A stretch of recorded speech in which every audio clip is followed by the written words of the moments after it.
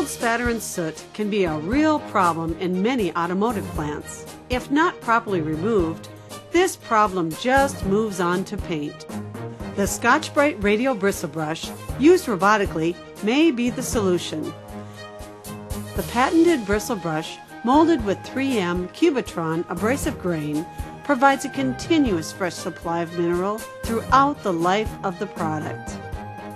As the bristles wear away, they expose new mineral, resisting loading for a consistent surface finish and cut rate while providing long life and quality.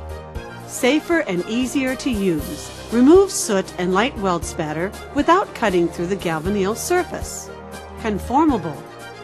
Has the ability to address complex geometries of a work surface in a single pass. Cool running. Resists heat buildup to help reduce potential damaging or distorting of the work surface. May reduce factory cost when used robotically. No more manual sanding.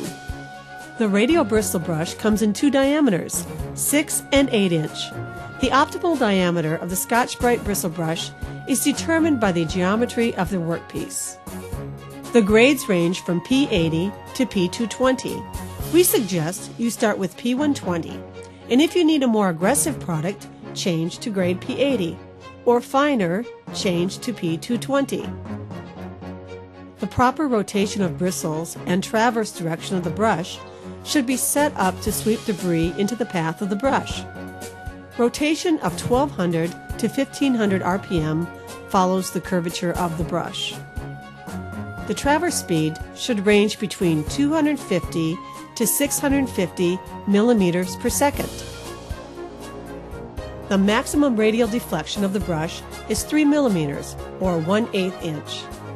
Maximum radial force is 4 pounds per inch width of the brush.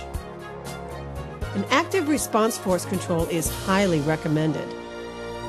If you currently have a robot using a passive force control device, always make sure that a force gauge is used to measure actual applied forces at several points in the program to ensure that proper forces are being maintained at all times.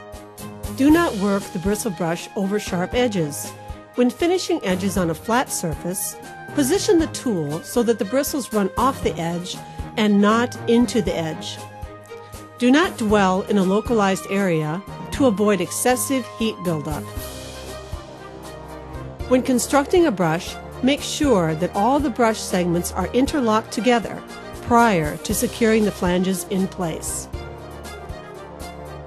To avoid damaging of units due to human error when changing the brushes, make sure your arbor dimensions are the same for all robots. The Scotch-Brite Radial Bristle Brush for weld spatter removal. Another innovation brought to you by 3M Company. Thanks for watching.